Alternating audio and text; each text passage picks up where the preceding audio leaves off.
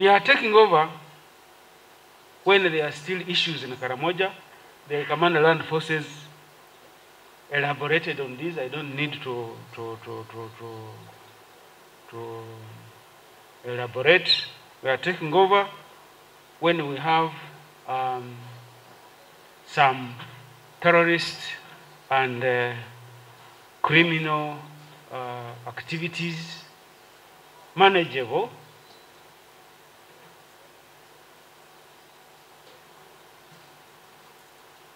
Some waves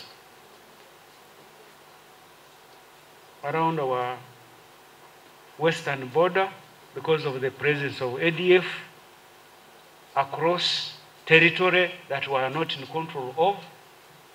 It is our concern, which we must deal with so that it does not in any way affect these achievements of the mighty revolution.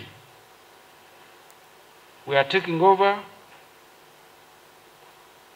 when there is this pandemic, COVID 19. It's. You ignore it at your own peril.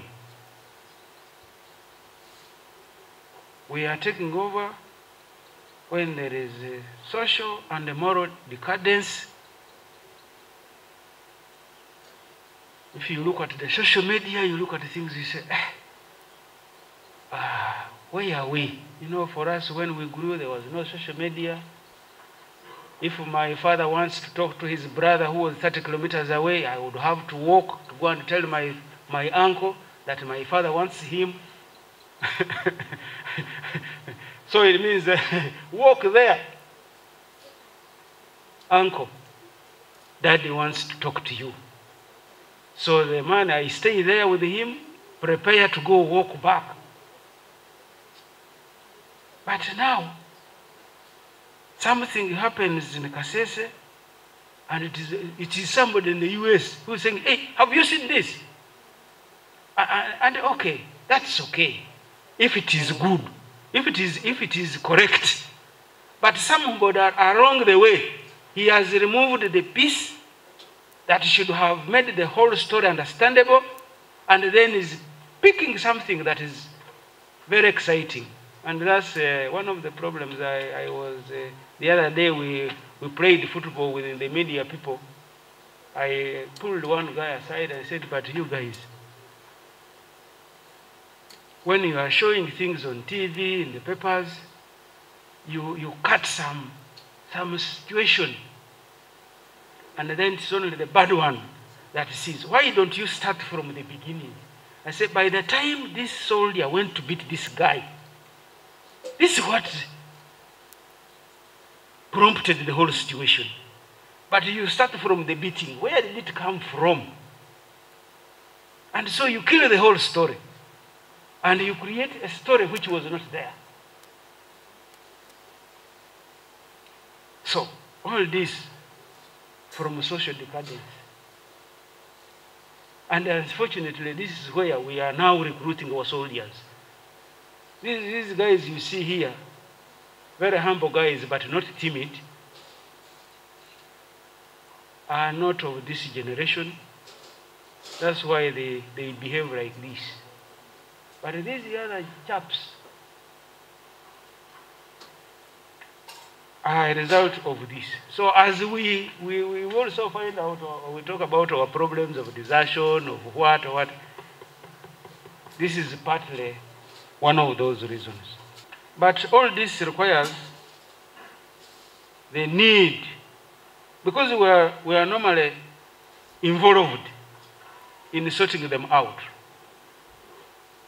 You had the locusts came, it was us. It's no wonder somebody has earned himself a name of Commander Locusts. Now he's going to be Commander uh, Development. COVID, it was us.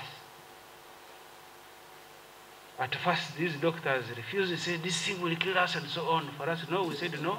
We join when we know we will die.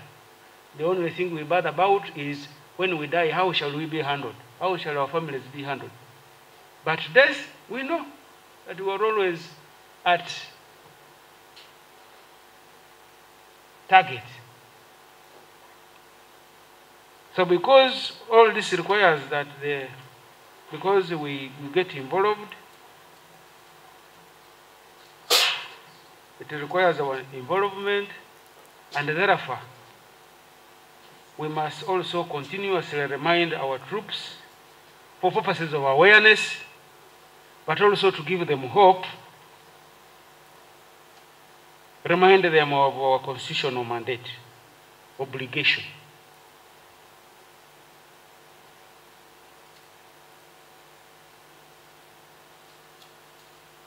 Remind them of where we have come from and our, our journey to grow into a modern, professional, effective force to secure Uganda and this revolution that has got, got us this far. And here I think I would like to quote um, late one great African who died for the cause of, uh, who was, I think, killed for the cause of Africa, Kwame Nkrumah, who said, those who would judge us merely by the hates we have achieved would do well to remember the depths from which we started.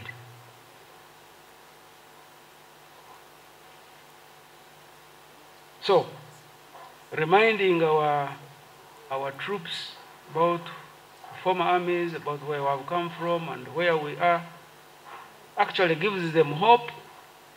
And even if he's in uh, Mama Ingia Pole, not that it is something we need to maintain, he knows why he's not yet in uh, an air-conditioned house. But that doesn't mean that uh, the leadership of the army and the country should forget about bettering their welfare issues in that area. A lot has been done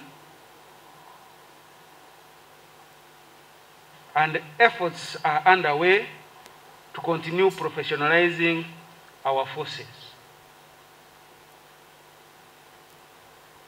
through Commander Land Forces touched on that thing. Capability enhancement. Uh, what he called combat capabilities. Through capacity enhancement.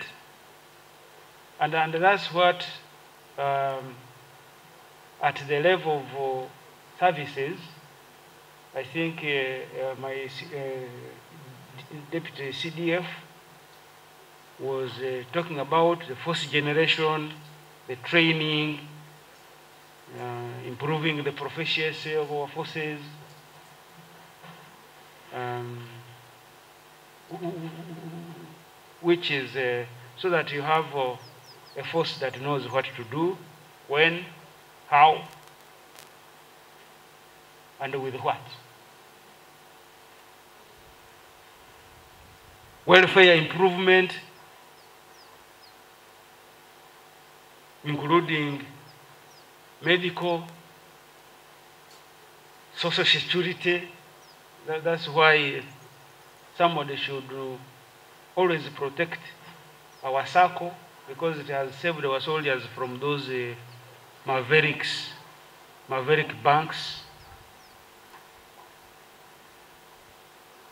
Logistics support. Joint Chief of Staff talked about it, and uh, the Deputy CDF, that big volume thing you saw, it's all about improving the welfare and the logistic support to our forces, more especially land forces, our air forces, our special forces, and any other forces that work with us to ensure the stability, peace and security of Uganda.